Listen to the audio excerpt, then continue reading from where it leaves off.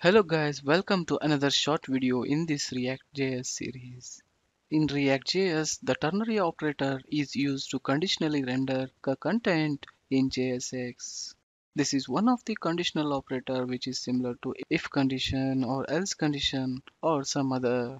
The ternary operator takes a condition and returns one of the two values based on whether the condition is true or false. In the context of React.js, you can use the ternary operator to conditionally render different JSX elements such as divisions, paragraphs, list items, or any other JSX elements. Or you can conditionally render different values based on these conditions.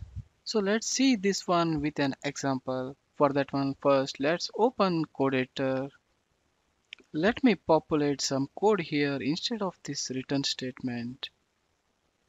Here you can see I have defined a variable by name is logged in and I have assigned true value to this one.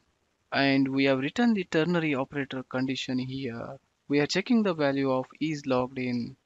In this example, if the value of is logged in is equals to true, the content which we have defined here that is your logged in message within this paragraph that will be rendered in the applications page.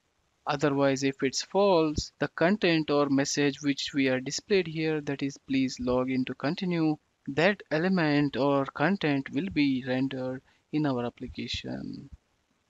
As earlier we have set is logged into true, when we go to browser, you can observe the message which we have added in the true condition that is being displayed here that is you are logged in. If you go back to code editor and change this value of this is logged in false from true the content which we have defined here that should be displayed in our browser.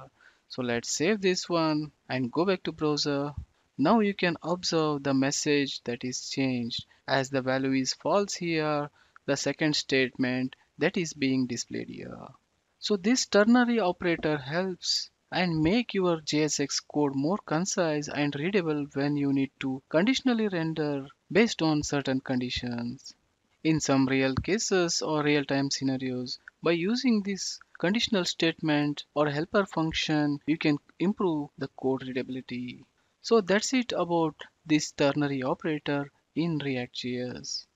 Thanks guys for watching this video. If you like this, please click on like button, share it with others and subscribe to my channel.